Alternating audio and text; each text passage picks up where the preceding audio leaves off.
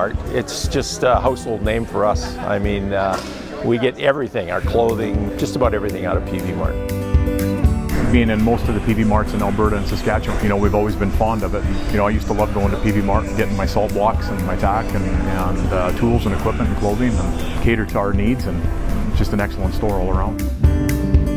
If I was asked what is Peavey, I would like to think that my answer would somewhat match uh, a customer's answer. It's right here. It's home. Feels like home. It's comfortable. I feel comfortable here. Yeah, it's really Yeah. good.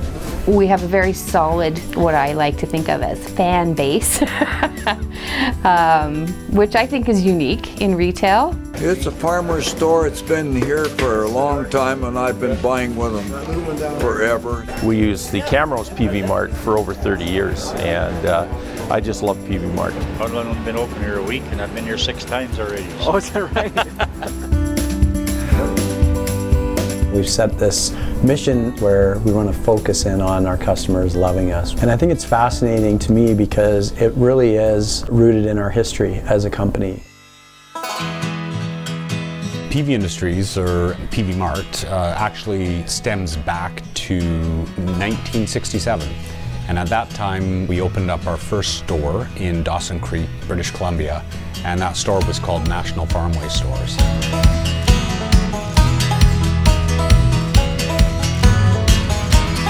So National Stores were part of the National Grain based out of Winnipeg, Manitoba. They had this vision of rolling out these super farm markets across the prairie provinces.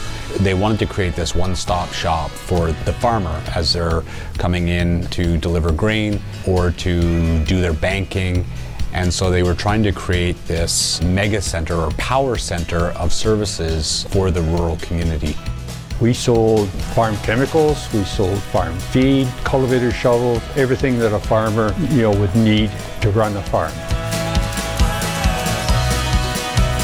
My dad ran a national grain elevator in Saskatchewan. From there, we opened a store in Melfort, Saskatchewan in 1967. It was the second store under the new concept of having a national grain elevator, feed store, and a national grain seed store.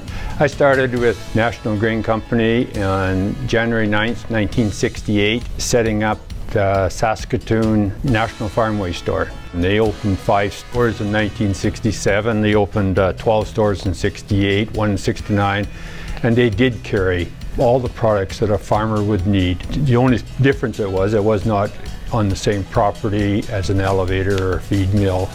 By about 1974, National Grain of Winnipeg was sold. National's parent company, a company called Peavey Company, decided to change the name of these stores, which weren't sold, from National Farmway stores to Peavey Mart. And at that time, they created Peavey Industries. It was attached to where the store is on that site. There was a distribution center and uh, the head office, which was the buying department and accounting department.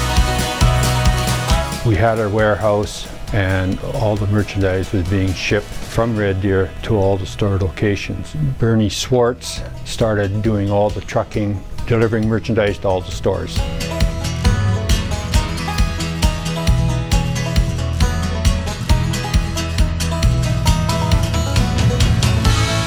In 1975, Peavey purchased Wheeler stores and SS stores in the United States. Mr. Wheeler sent his son, Buzz Wheeler, and John Murdoch. They came up for a two-year sabbatical in Canada. They got rid of all the head office staff. They totally revamped the thinking of the company, brought me in as a buyer of the egg, and under the tutelage of John Murdoch, I bought automotive and agriculture. They hired Norm Nielsen as the general manager. They brought in Rick Anderson as the accountant and Bob Ryerson as the store's operations. They tutored us for two years and the four of us were running the company for the Peavey USA. In 1982, Peavey Industries sold out to ConAgra USA. At that time, ConAgra evaluated the performance of the Canadian division and decided that they did not want the Canadian operation. With the help of ConAgra and the Continental Bank, The four of us were lucky enough to be able to purchase the Peavey Mart chain in Canada, and that's when it became 100% Canadian owned. March 19th, 1984, the day the key turned. We won our lottery. It was quite an undertaking for them, and I know that they took a big risk in doing it. The company had not made a profit. Interest rates were at 19%. We put our lives on the line with the banks. Through, I think, a lot of hard effort on all their parts, like they're very hands-on. They knew everything that was going on in the company. They were able to uh, make it succeed. If you want to know what our model was, lean and mean. Our model stayed that way for the whole time that we owned the company. The very first year we lost money and from then on we showed a profit every year to this day.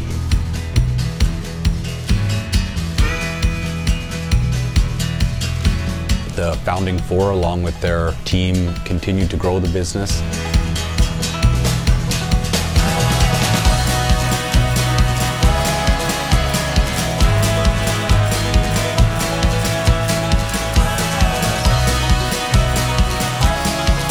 In the early 90s, unfortunately, one of our founders passed away in an accident. Later in the 90s, another partner was bought out, retired, and so from the late 90s to the early 2000s, the company was run by the two remaining founders, Rick Anderson and Terry Jellicoe. I sort of took over as merchandise manager and I did a lot of the operations part of the company and Rick did a lot of the office part of the company.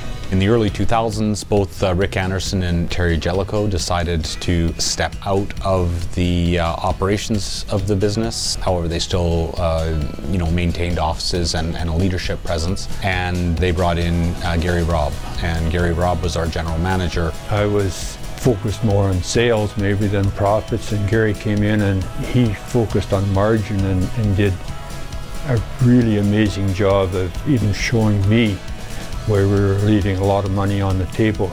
Eight or nine years that Gary was here was, was significant in, in building the, the bottom line of our company at the end. By the time we reached 2003, we had 26 store locations. Many of our stores had reached as high as uh, 24,000 square feet. We had continued to relocate, expand, and reinvest back into our existing store network.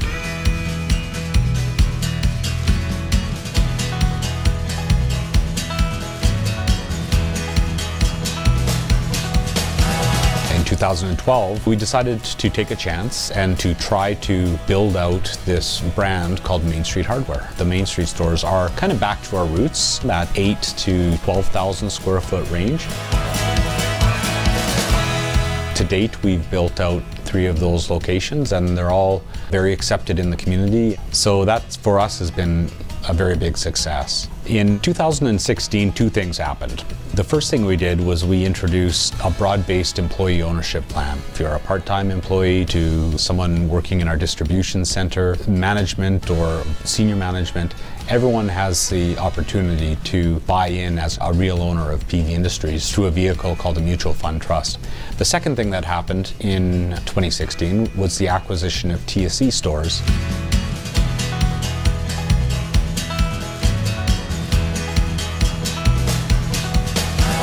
So at that time we had 34 stores. TSC stores had 51 stores. TSC stores really has a very similar kind of history and legacy to us and the people inside of TSC stores are absolutely amazing.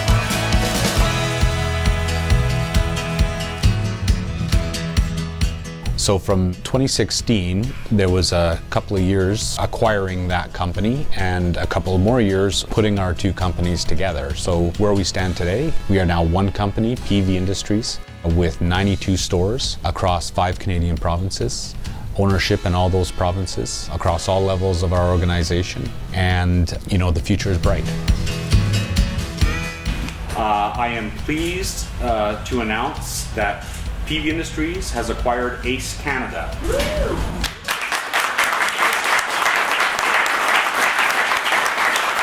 So we have one corporate store, we have the license to the name Ace Canada, and we have an agreement to sell to those dealers Ace branded product.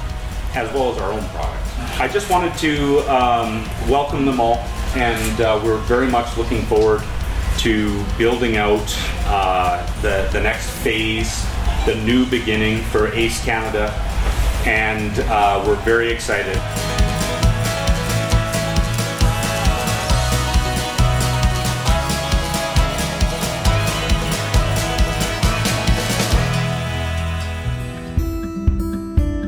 I think uh, Peavey is a unique retailer, and I think that's partly why we're successful. The one thing that we always speak about in our organization is this notion that our success is built on the, the hard work of people that worked in this company before us. Having the opportunity with my fellow partners to own Peavey Mart Canadian wide was a historical moment that uh, will always be there. It was, it was great. We won the lottery. We had to work very, very hard. I think back to the vision that National had uh, back in the 60s of creating this one-stop shop opportunity for the uh, rural customer and their commitment to you know that rural lifestyle and that vision still stands true today.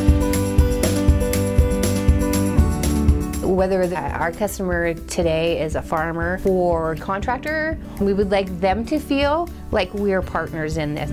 Our employees, whether they're in home office or in the store, want to have that passion uh, for the customer. They want to not disappoint them. And I think that um, that spirit's going to carry us forward around our customers loving us and, and definitely be part of the path forward. I've always said, learn from the past and look to the future. You have to be looking ahead. And so this idea of always remember where we come from, it really speaks to humility and that we all contribute to something that's greater than ourselves in the success of this organization.